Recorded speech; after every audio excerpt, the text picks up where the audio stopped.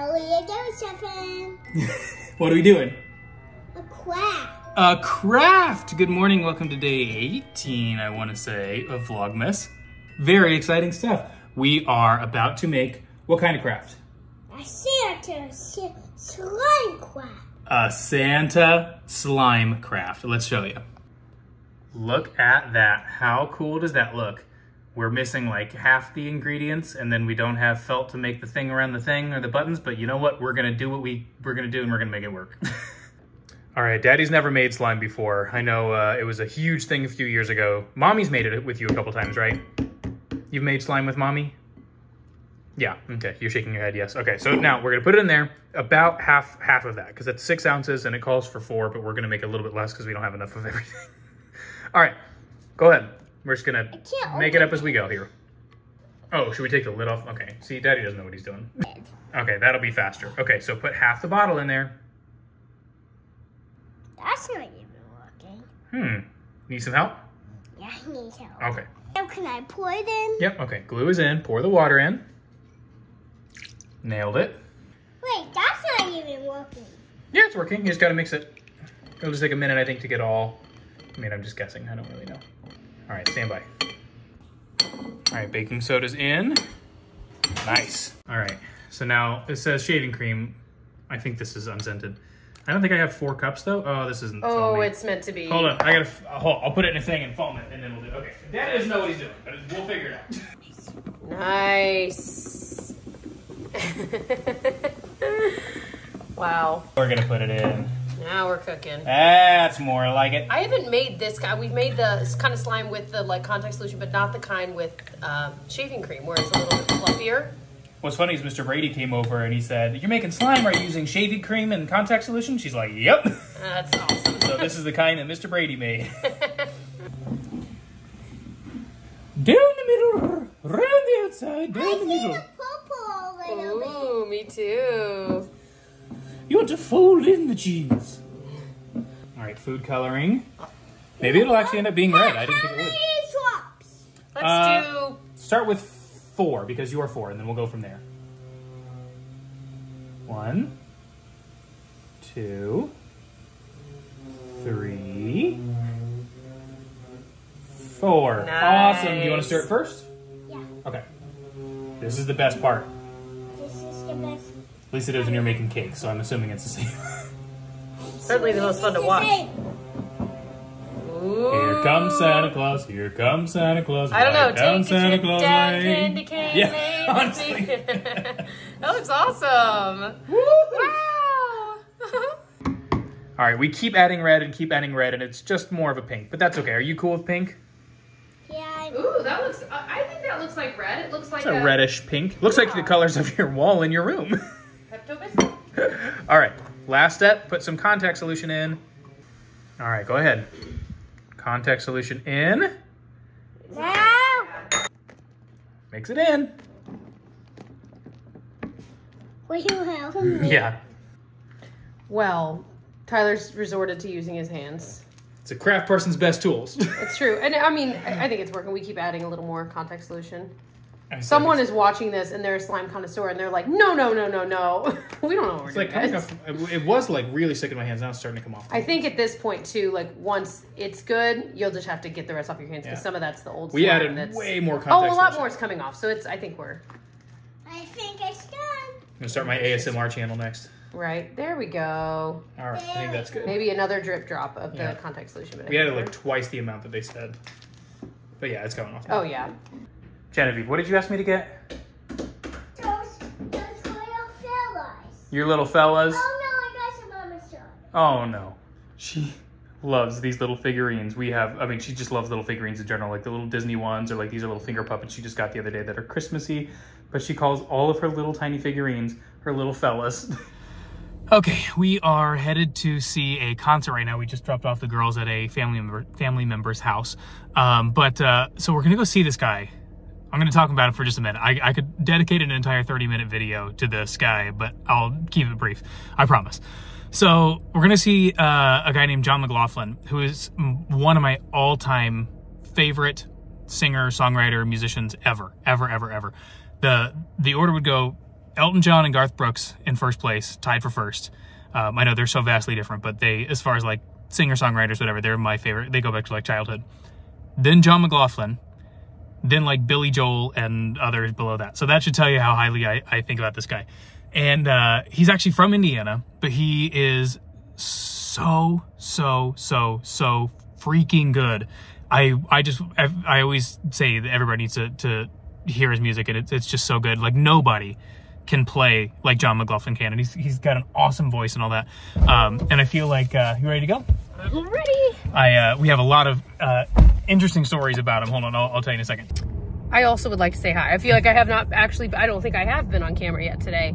Um, just like a mad dash scramble to like get everyone ready once it was finally time. We both needed to shower, which that, see, this is why we shower at night. It is so times, much easier. Yeah. it's so much easier when the kids are already asleep for us to trade off showering versus during the day when everyone's already up. It's like, okay, uh, and it's just, it's a whole thing. I prefer to shower in the morning, but Yeah. it just makes more sense a lot of times to shower at night. I, I would agree with that, yeah. Um, Okay, so I'm going to tell the quick version of the story. So I first heard about Jon McLaughlin. I went to go see a guy named Paolo Nutini with my brother Jason. Uh, this was like 2008 or whatever. And Jon McLaughlin opened for him. And I remember, I will never forget. He came out and played the song "Industry," which is the first song on his first album. Um, the album's called Indiana. And I remember Jason and I looking at each other and being like, "This guy is insane! Like we have to buy this guy's album." Like I think Jason literally said, "Well, there's another album we have to buy as soon as we leave here," because it was so like just it was so good. Oh, Um, back in the days when you bought albums. I know, I know, right? um, so then I listened to Indiana a thousand times over. That was the first album, and then he's come out with so many good albums. We just saw him perform "Promising Promises," which was his third album, I think. That is I'm gonna, my favorite. I'm gonna link a few videos below. I'm telling you guys. Okay, so if you know Billy Joel, if you know how Prelude starts, that right? Okay. When you see Billy Joel do that, he does the. I know it sounded exactly like it. When he does it, he does it with two hands. Like it's like slap piano. Jon McLaughlin pay, plays something like that in the song "Promising Promises" with one hand. I don't even know how he does it. He's insane, but it's so good. But like he, uh, one of our wedding songs was "I'll Follow You." That was Yeah, Jon I literally can't listen to it. I feel like we vlogged all this before when we saw him last. Well, either way, you were vlogging at the time. Maybe maybe it's on your channel. Maybe I don't know. because I feel like we've literally shared all of this. Maybe not. Well- but yeah, I cannot listen to that song "I Will Follow You" anymore because I just stop. Which, in a so good, way, I It's literally so can't listen good. to it. Um, but anyway, so like I said, he's an Indiana native, and I feel like our paths have crossed like 25 times, but I've never actually met him, which I don't actually want to because I have him on such a high pedestal that I there's no way I could ever actually meet him. But it's funny because he's performing today with a woman, and I was in a commercial. This is like what 2019, and we played these two pilgrim people, and it was like. The, it was like so it was the weirdest like experience because we filmed filmed this commercial and we filmed like eight commercials in a row and the, it was the idea was that like a guy who played santa was there a guy who played uh, uncle sam was there then uh, she and i were these pilgrims and we would come in and be like The girl performing, not me. the girl performing yeah. Yeah. We would come in and be like he'd be like oh here at johnson plumbing we're open 365 days a year and then Santa would come in and say, "Well, not on my day." Like, "Yep, even on your day, Santa." And then we came in and be like, "Well, not on our day." And it was like, "Yeah, even on Thanksgiving." So that was, the, but it was so funny because the guy would, who was the tech, would leave and come back with a different polo shirt, and then he'd be like, "Here at Anderson Heating and Cooling, we're open 365 days a year." Listen, this is genius. So we, yeah. this is genius. Oh my gosh. So I have a I have a picture of us in our costumes when we were filming that commercial. Um, but I filmed that commercial with her, and we I think got we were Facebook friends. Years later, I found out that she was Well, Jon McLaughlin's sister-in-law. 2019, that would be now, is years later. That's what I'm saying. It was a I feel like it was, not- like 27. Like I feel like it was a while ago that you did that. Either way, it doesn't matter. I don't. It doesn't. I think Gigi was already born though, so it had to have been after that. think But I honestly, 2018, it does not matter for the story. My point is that a, a very, very long time went by, and then I saw that she was she had a concert, and she was performing with Jon McLaughlin, and then I figured out that she was Jon McLaughlin's sister-in-law. so like that, our paths crossed there. I was in a show with a guy a few years ago, and he uh, he like grew up with him in Anderson, Indiana, and like they performed together all the time. He was in a band called the Last Fight or the Last Good Year. So like I've crossed paths with this guy like a thousand times. Also, Jon McLaughlin sings so close in Enchanted. So That's probably close. how most people will know who he is. Oh, he's Uh, so good. and he's in the movie too. He's the one standing there singing. That's Uh, right. Or if you're oh, we need in- to rewatch that. I wonder if he's. We haven't seen Disenchanted. I wonder No, if he we haven't. but he's in uh, uh, World of Color at Disneyland too. That's that's that's Jon McLaughlin singing. Anyway, he's like my favorite person of all time. Uh, I never ever want to meet him because I will lose my mind. Um, but you bought us front row, front row will, seats, yeah, front but table seats. we'll like, the dark. he's gonna he's gonna wink at you. He's gonna be in like, the dark in the back. He's also hilarious and he's not bad on the eyes either. So he's just the coolest person in the world. I would agree with that. so we are en route to um, the show, if you will. I they got. I mean, I know they have food there. They're offering it today, right? Mhm. Because I am Yeah. definitely hungry. I'm, I we it's a long story. We were going to be going to something right after this, um, but time wise, it's just not going to work, and we were going to eat at that. So now I'm like, well, now I'm like legitimately hungry. So hopefully get some appetizers or something. And yeah, we're meeting our friends Laura and her friend. Or her, Her sister. sister. Allison, our friend too. I mean, we just know Laura better. But anyway, this is coming out weird. We're meeting them, and they happen to also like really like Jon McLaughlin. So it's kind of fun because, again, I feel like he is kind of a household name, but he's absolutely not. But he's so good, and he should be. So anyway, So um, this episode sponsored by. Uh, but yeah, we it's it's at this place called the Jazz Kitchen, which is like a uh, it's in Broad Ripple in here. in It's my Indianapolis. favorite It is just place favorite place. They in the always have such good music. Such good music, and you can get like a nice cocktail if you want, The and like food is good. Yeah, and we've gone to like really jazzy, like standards, like Ella Fitzgerald type nights. Those are my personal favorite. Um, it's it's just fun. They And have the always are different stuff. Always so good. Even if you don't know who they are, it doesn't matter. You can pick a random Thursday night and go see a show, and it's going to be amazing. Yeah. So if you live anywhere in the central Indiana area and you have not been to the Jazz Kitchen, might I suggest it? Usually, I think you need reservations, so definitely Yeah. like look on their site. But anyway. So we're here, y'all. When he said front row, it is literally. Let It's me show you how close. space. It is so intimate. Here I am. Here's the stage. This is amazing. Also, we can totally see their uh, set list, which is just fun. Very Christmassy, very exciting. Yay! And I think I'm gonna order some taquitos. Doesn't that sound good? And then I ordered some of the crab cakes. Get the crab cakes. You know, I love the crab cakes. There you go. They did say there's like a $15 minimum, so. Yeah. yeah. All right, we got the crab. Ooh, you know that dip is good. Smells. Does it? And then here's my taquitos. Nom. It was so fast too. I feel bad. Our our, literally our companions aren't even here yet, and I was like, oh, I guess we already have everything. We are fully aware it's rude to like eat before like everyone's here, but I think they there's like a time where they like cut you off and you can't order food. So we're like, we just wanted to make sure we got our order, so we did.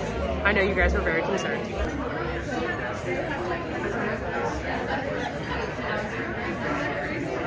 well, looky who it is. Our lovely guests, Laura and her sister Allison, have joined us. We were talking about it in the car, so they already know you were going to be here. But yeah, look at Laura. She's literally like, what, eight inches from the, the, the music stand? reach out, touch her. Touched his knee.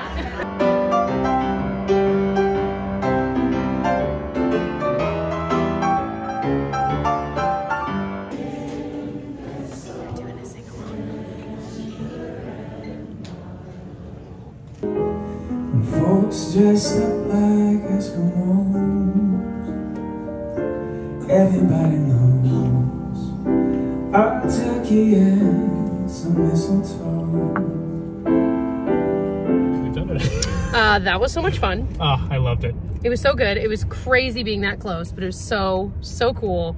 Would totally go again. I think we should make it a tradition. I mean, honestly, Maybe. everyone on that stage, the the bassist, the drummer, the guitar player, also, I think they were all related.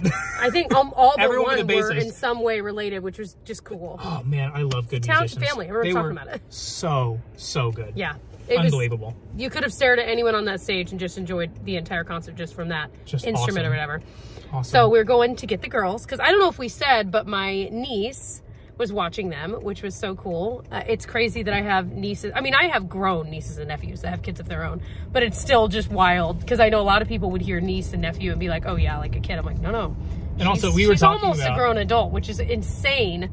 Because Well, when you came around, I she say we're at that point in our lives now where like I'm the uncle and I've just kind of always been there. You know what I mean? Like I feel like Yeah, because you were was around kid- probably as far back as she can Yeah. remember. When I was a kid, my uncles were just always my uncles. They were always around. But then I look back, I'm like, oh yeah, I guess at some point they had to get married. They you were, know? yeah, they And married when into I was the a family kid, or- but I don't remember it. And now I'm like, yeah, they were just always my uncle. I'm, I'm now that guy. I've just always been around. Oh, that's so true. So that is just cool. So anyway, so we're gonna go pick up the girls and go home. I want to make some thin mints. the noise. oh my it was so loud. I didn't expect it to be that loud. Do it again. No. We are home. We are in comfs. Baby's in the bath. Felicity, or no boy, Gigi's here with me. We're gonna make cookies here in a sec. It is a half calf kind of early evening, you know. We're getting crazy here. Let's see. We don't want decaf. Oh no, where's my half calf? Oh no. Oh, here we go. It's like, didn't I? So yeah, this is this is happening. Yes, please. Also, in case you were curious, I'm still loving our little coffee bar. Absolutely, absolutely loving it. Half calf.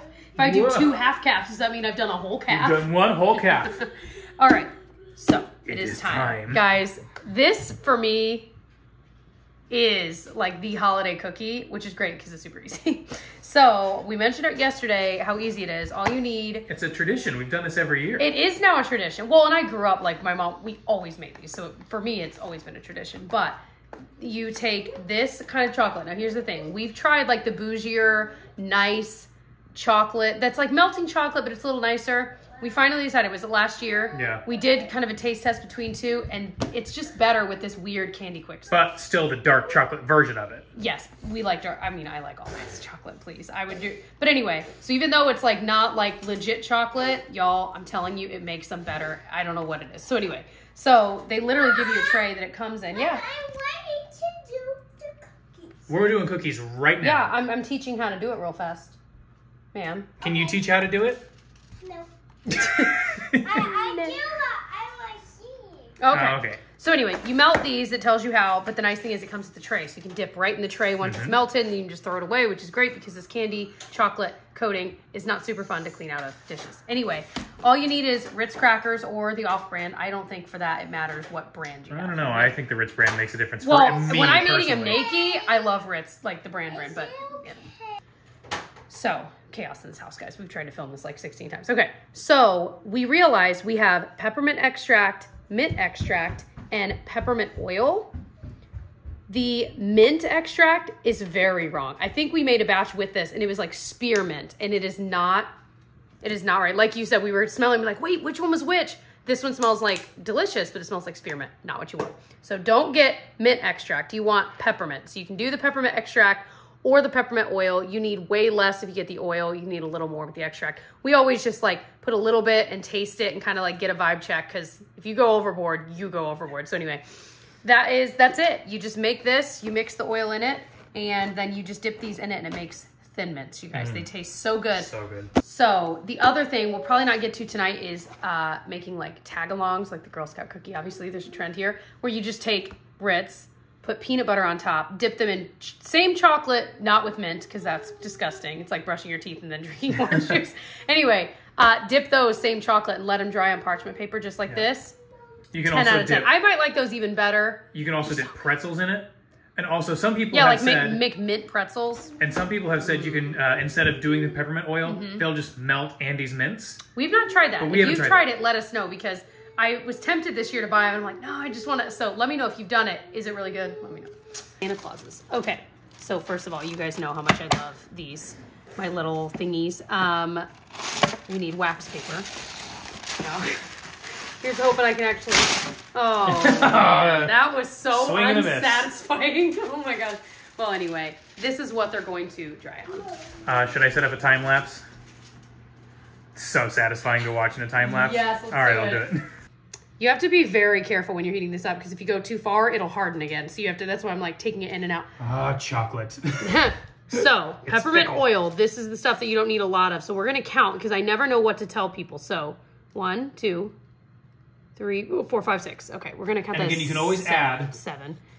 Yes. In this instance, you can add, but you can't subtract. So We're mixing it in, Dash, Gigi, to make dash, it. taste. I hope that wasn't too much. I don't think it was. But at least we'll have a ballpark number to give you guys. But again, if you get the hold on, babe. If you I get can. the okay, you try. It's definitely gonna spill this over. Anyway, ooh, you can smell it. it smells perfect. I think I wouldn't touch a thing. Yeah, I mean, I'll taste it with like a little spoon. We'll see. But Yeah, I'm thinking that might be. Hand It. Oh, what I was hand gonna say is, if you get the extract, I want to reiterate this. If you get the extract, you will need more. If you get the true peppermint oil, you would need less. So just keep that This in is mind. what, and this is what your mom uses, right? She got this Yeah, for you. Yeah, she got this for us. Um, yeah. Okay. Let's see. I smell peppermint. Yeah. Needs more. Really? Actually, yeah, for real. All right, so this is good. Pinocchio, there's no food for So you. So around ten, and then taste. Keep tasting. Oh, Yeah, I would say.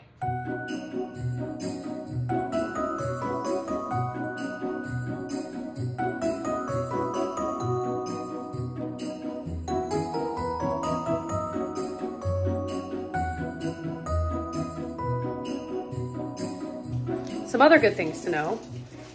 Uh, one, I got peppermint oil on my finger and I keep, I, I just licked my finger. I'm like, ah, ah! So I need to, A, wash my hands again, but B, it burns. So just be aware of that.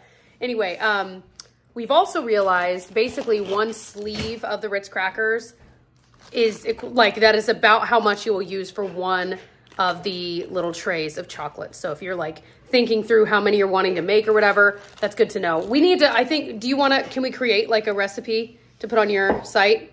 Now that we actually have some numbers that I could need work. A picture though. So we gotta. I can find a I can make I can make some without all of the sprinkles. Okay, do that. Make a few. Okay, make it I look don't know. pretty. Gigi's are beautiful. Have you guys seen her cookies yet? Oh yeah, girl. Look at that. Was it good? Was it good? Yeah. good. Side note, if you are at Target and you see this, especially now, like if it's on clearance after Christmas, buy it. this has been, we have used this for so many different things already just this season, and it'll last obviously a few years, but especially if you have kids that like to decorate. But yeah, it's just such a good mix of sprinkles, and if you can save some money on it, why not? And again, I feel like sprinkles last forever, so it's pretty cool. All right, here's a shot of them finished. we made basically two sleeves. We ate some. The other thing is over here, we have we took some pictures with this for uh, the recipe. Like I said, or have I said it yet? I don't know. anyway, uh, they these are our nicest looking ones. You know, these get, these are the photogenic ones. We meet again. I feel like all I can smell is mint at this point. I think it's all in your hands. a Yeah. lot. I've washed my hands like 16 times. um, we ate a lot of those cookies in the process.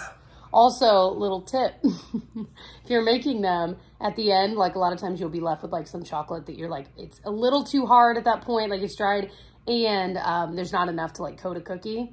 So we usually take some Ritz crackers and just dip it in there and eat it. I took a fork and I was like scraping it off Yeah, and you then just did. I've never placing seen- it. I didn't either, but I was like, it's such a waste because once you get to the to the bottom of it, it's You like. can't reheat it like you Yeah. think and keep melting it. It doesn't work that way. So I was like, I'll just scrape it off and just plop it on top of a cracker. You sure did. It was good. Yeah. Um, And you know what?